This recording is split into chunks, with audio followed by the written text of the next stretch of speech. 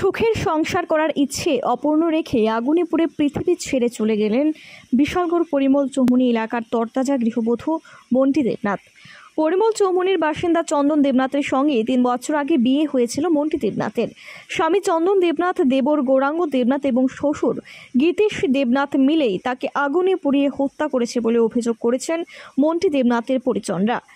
তাদের অভিযোগ, বিয়ের পর থেকে পণের দাবিতে তাকে চরম নির্যাতন করত মদ্যপ স্বামী চন্দন দেবনাথ এবং অন্যান্যরা। স্বামী সহ শ্বশুরবাড়ির লোকজনের বিরুদ্ধে থানায় অভিযোগ দায়ের করেছে মন্টি দেবনাথের পরিবার। নির্মম এই ঘটনার সুষ্ঠু তদন্ত এবং দোষীদের কড়া শাস্তি দাবি করেছেন স্থানীয় মানুষ। আমার বোনের শ্বশুরে আমার সকালে ফোন করে জানাই তারা আগের দিন রাত্রে কাজ করে নাকি তাদের মাইরা ফেলা হয়েছে। সকালে এসে ভোরবেলা ফোন করে কইছে কল জিবি আয় জিবি আয় এছাড়া এছাড়া দেখি কেউ নাই। খালি জামাই ছোটো ভাই আছে আর তারা কেউ নাই। আমরা আইসি করে এরপরে তারা সব গেলে গেল এরপরে জামাইও আইছিল দেখছিলাম একটু। এবার জামাইও বাইরে তোমার তোমার বোনের জামাইয়ের নাম কি? মন্টি দেবনাথ। আর এই চন্দন দেবনাথ। বোনের নাম? বোনের নাম মন্টি কত বছর আগে বিয়ে তিন বছর আগে। আমরা সকাল ছটা বাজে। এই টাইমে ফোন গেছে। ফোন গেছে বেয়াই আমার কয় ফিরিয়ে আমাদের কয়?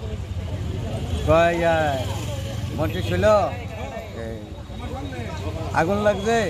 আমরা জীবিত আরে কি মন্ত্রী ছিল আগুন লাগছে। জীবিত যেতাম আমরা ক বাই। তাই আমাদের আমরা ভিন্ন অতিশ হয়ে গেছি গা। হইয়ার পরে দৌড় আমার গাড়ি দুটাতে করে আইসি আয়া দেখি কেন? এই, আমার মায়ার দেহ, ছোটো একটা দেওয়ার আর মায়ার যেত শুরু করে বাসুর হ্যাঁ লয়ে লয়েছে লয়ে এসে আয়া আমরা আইলাম, আয়া দেখলাম মায়ার কোনো ইয়া নাই আপনার জ্ঞান নাই। আয়া দেখলাম যে মায়া মরা। থেকে কোনো কথা কথা লইতারলাম না। লইতারলাম না।